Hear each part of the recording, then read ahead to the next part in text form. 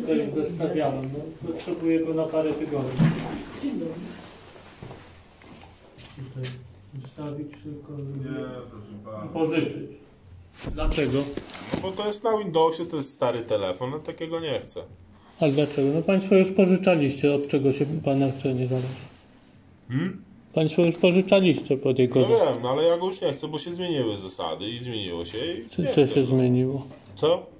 Za co się przez kilka miesięcy zmieniło? A w styczniu jeszcze było. Zmieniło się, no co ja panu poradzę.